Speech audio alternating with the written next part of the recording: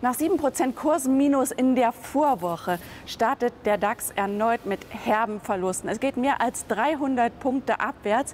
Die Händler, wenn wir sie hier ansprechen, sagen, es ist alles sehr, sehr nervös. Und nachdem die 200-Tage-Linie gefallen ist, sind auch noch weitere Kursverluste denkbar. Viele sagen aber auch, Moment, die Lows vom März werden wir wohl nicht wiedersehen, denn die Notenbanken, allen voran die FED, hat zwar gerade in der letzten Woche mit sehr, sehr klaren Worten nochmal die Lage umrissen, aber die Notenbanken tun viel mit der Liquidität, die sie in die Märkte pumpen, um die Volkswirtschaften am Laufen zu halten und damit auch die Aktienmärkte zu stabilisieren. Nichtsdestotrotz, Panikverkäufe sind ohnehin ein schlechter Ratgeber, denn langfristig steigen die Kurse durchschnittlich im DAX um ungefähr 7 Prozent.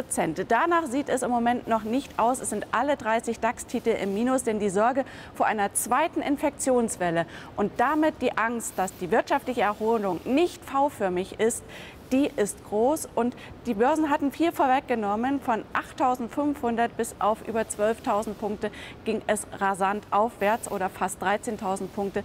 Die werden wir wohl erst mal in den nächsten Handelstagen nicht sehen, zumal wir auch am Freitag noch einen Verfallstermin haben.